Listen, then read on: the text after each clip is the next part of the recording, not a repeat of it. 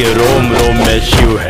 विष वही पिया करता है। फ़िलहाल बढ़ते हैं यश कुमार की एक फ़िल्म, जिसका नाम है शंकर।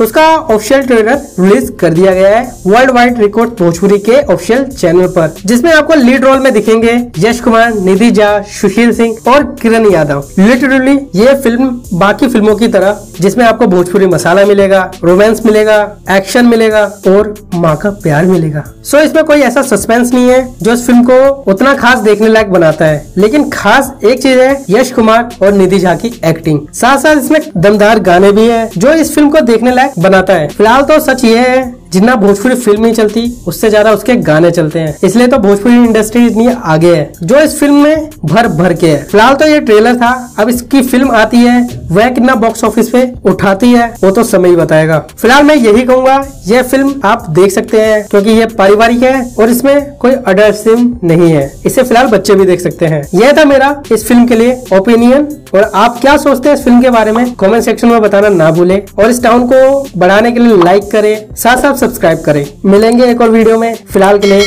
अलविदा। ये जवन दुश्मनी तय शुरू कर कैले बाड़े ना? एक अंत हमार बेटा करी।